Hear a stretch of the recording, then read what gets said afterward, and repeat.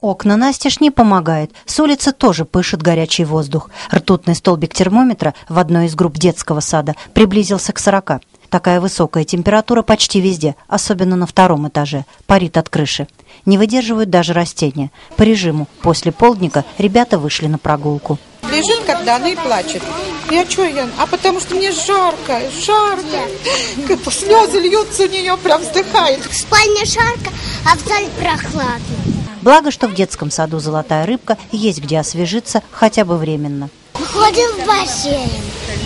Мы ходим в бассейн, искупались, потом выходим и идем в группу, потом раздеваемся и ложимся спать. А еще выходим на прогулку.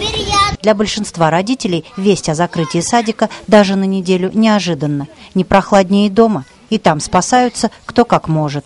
Ну, окна везде открыты, и водой ополаскаешься. Спать приходится не в постели. В балконе. Да и возникает проблема, с кем оставить детей. С работы как-то придется, не знаю, даже что решать там. С начальником, наверное, разговаривать как-то. Ну как, приходится нанимать нянечку. А куда его девать Ни бабушка, ни дедушка. Нет никого. Детские сады в связи с тепловым режимом будут бездействовать всю следующую неделю.